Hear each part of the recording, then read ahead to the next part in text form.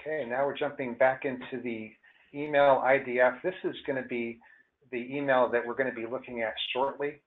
Um, this is a more um, complex email, and as you can see, the server settings up there, we're using Office 365 in the cloud.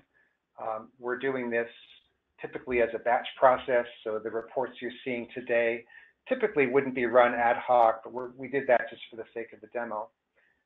And um, at this point, I think we can jump into the process. We're going to run it and then jump into how this email is constructed.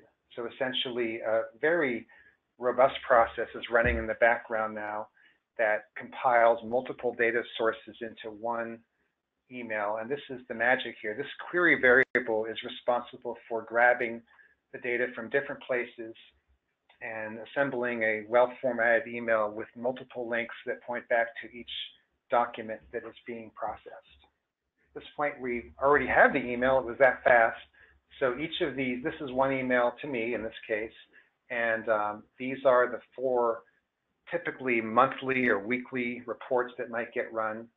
Um, and they're run as PDF. As you can see, we're using the new logo now. Um, and they're run again as an Excel file for folks that want to dig into the weeds a bit and, and look at their, the rows themselves and so forth.